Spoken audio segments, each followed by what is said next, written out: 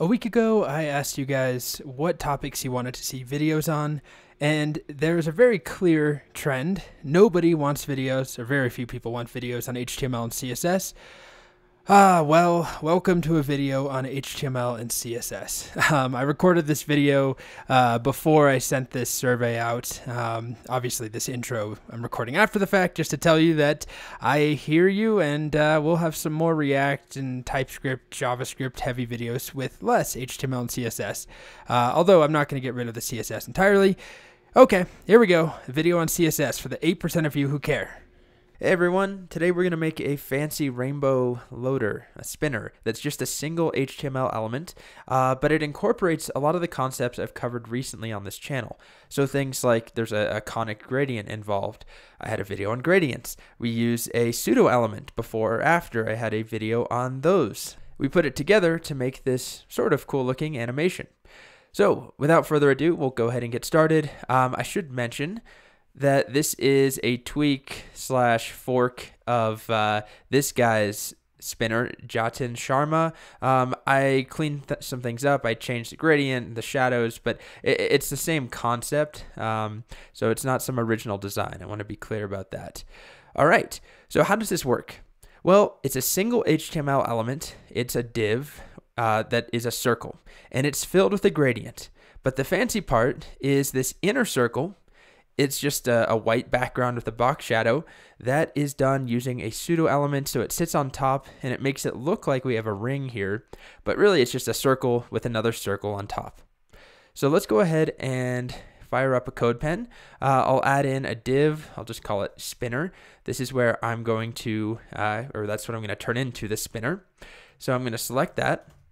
And the first thing I'll do is make it a circle and uh, give it a background. Maybe I'll just give it a background color to start of, you know, purple. We're going to get rid of that, but I'll just set it to be purple.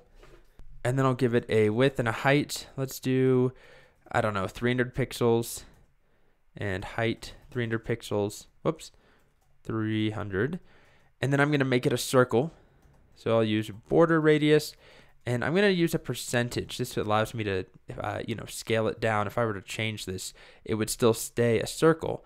Whereas if I had said border radius is 150 pixels, if I change the size, I want to go up to 500 by 500, my border radius is off. But if I had kept it at 50%, then that scales appropriately. But I want to go back to 300. All right, so that's our simple base circle. It eventually will be filled with this gradient. The next thing I'm going to do is add in this inner circle to form the ring. So instead of cluttering my markup with a second div that, I mean, what would I even call that? Like inner ring or something, give it a class. Um, instead, I'm going to keep my HTML very clean and use a pseudo element. Dot spinner for my class, colon, colon, before. Now check out the video I did on pseudo elements if you're totally confused on what they are. They are very confusing uh, until you uh, until you watch a video that explains it. Uh, all right, so I'm going to set content to be empty string, um, and I'm going to give it a background color of white, and then I've got to do some positioning stuff. So I'm going to set its position to be absolute, and I'm going to set the spinner's position to be relative. And then the goal here is that I'm going to take this white circle, which currently we don't see, and I'm going to have it positioned in the middle and be about 80% of the size of the purple circle. So I can start with width 80%, height 80%, and then I'm going to make it a circle because by default it's just going to be a box. So border radius, same thing, 50%. So now I have a smaller circle I just need to move it over to where I want it to go. And to do that, uh, I'm going to set the top to be 50%, left to be 50%. Now, this is a little tricky. Uh, to make this responsive, quote unquote, meaning that I could change the size of the spinner, I'm using percentages here, and then I'm going to transform, translate negative 50%, negative 50%. And that will give me a centered circle a smaller circle within that circle, no matter the size of this parent. So I could have it be, you know, 900 by 900, and it's still centered. If I had used pixel values, uh, that would not work. So 300 by 300 is fine. Um, and the same goes here. I could change this to be 40% width and height, it's still going to stay centered.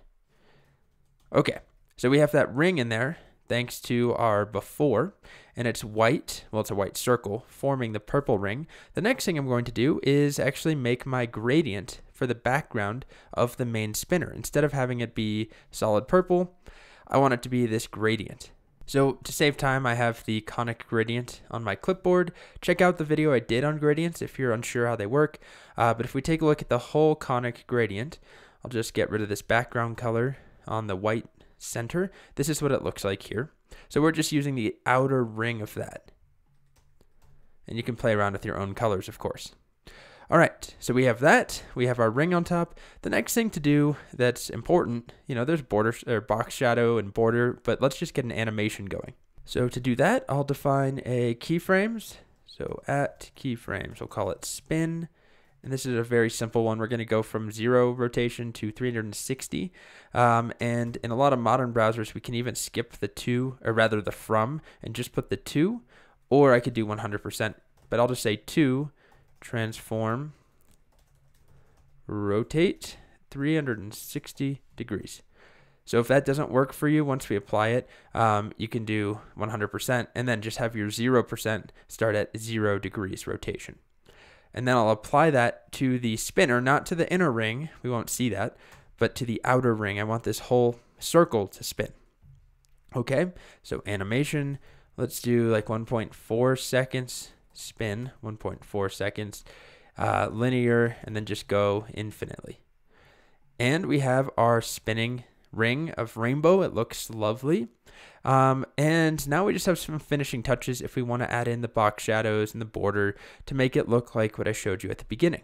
So we can add a box shadow to this outer ring, box shadow, and I hate dealing with box shadows, but we'll do 0, 0, 150 pixels, negative 75 pixels, and we'll have it be black.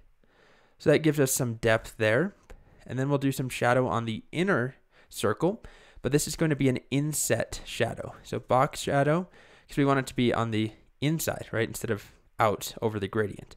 And it will be inset, zero pixels, zero pixels, 110 pixels. I just messed around uh, before I recorded this, figuring out what size I liked. So tweak that in whatever way looks best. Uh, now we have that inner box shadow, and it looks pretty good. Uh, and then if we want, we can add a border to both of the circles. So border, like four pixels, solid white, and we'll just copy that on up to the outer rainbow circle. And there we are. All right, so that's our spinner. I hope you enjoyed that. And I'll be back with another video next week, hopefully feeling a bit better with a less raspy voice.